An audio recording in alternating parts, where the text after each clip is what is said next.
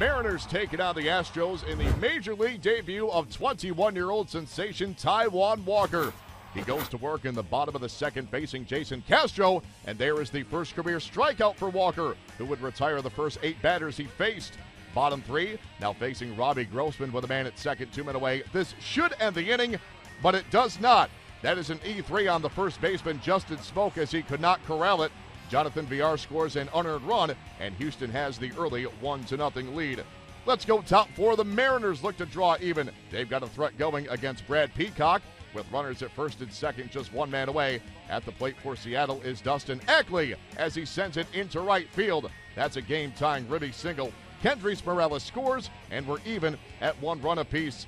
Next batter for the M's with runners on the corners. Abraham Almonte also making his major league debut. A potential inning ending double play ball, but Almonte legs it out to pick up his first career RBI. Go ahead run scores. Seattle has a 2 1 lead. Let's go top five. Now a 3 1 game.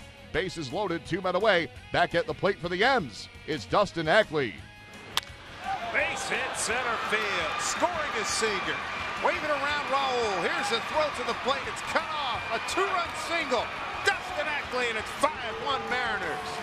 Peacock would be finished after four and two thirds on Friday. Back to Walker, bottom five, as he now faces Grossman once again.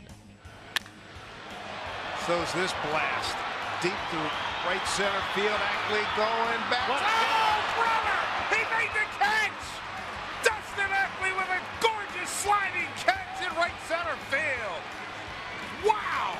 That was Walker's final pitch. Five innings on Friday, just two hits allowed and one unearned run.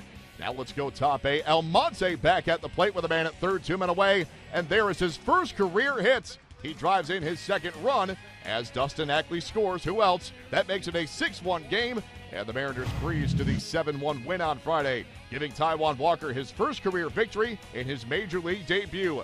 The 21 year old Walker was caught by a man twice his age behind home plate, 42 year old Henry Blanco. Dustin Ackley racked up a career high four hits in this one and tied his career high with four RBIs.